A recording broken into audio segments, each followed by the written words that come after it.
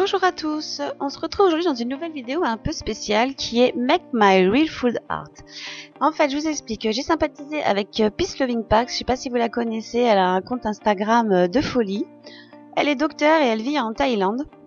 Elle est créatrice de food art, en fait, c'est son hobby. Elle tire ses inspirations de la merveilleuse et trop chou culture japonaise, euh, celle des mamans qui fabriquent des lunchbox pour leurs enfants.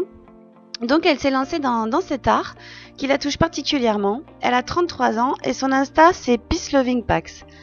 Euh, sa chaîne aussi, euh, elle tourne euh, quelques, enfin c'est pas des tutos en fait, mais elle vous propose euh, des diaporamas avec des explications comment elle réalise ses food art.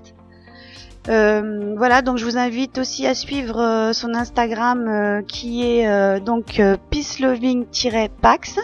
Je vous mettrai tous les liens en barre d'infos et je vous invite aussi à aller voir sa page Facebook Cute Foodies. Mon défi était donc de réaliser cette petite Hermione que elle, elle a réalisée donc en véritable food avec du riz, des nouilles, des pâtes, du saumon, de la salade et des petites tomates cerises. Donc voilà, je vous laisse euh, découvrir euh, ce tutoriel. J'espère que cette vidéo euh, vous plaira.